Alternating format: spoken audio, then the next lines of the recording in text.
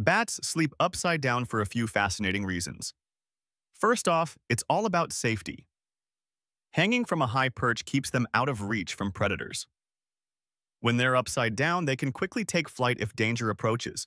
It's like having a built-in escape plan. Then there's the issue of their anatomy.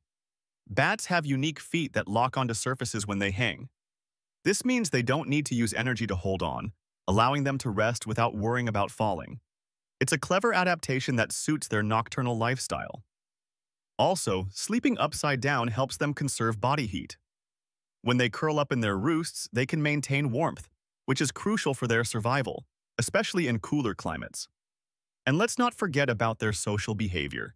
Many bat species roost in large colonies, and hanging together creates a cozy, communal environment. It's like a big bat family reunion every night.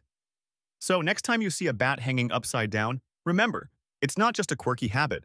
It's a survival strategy that keeps them safe, warm, and connected.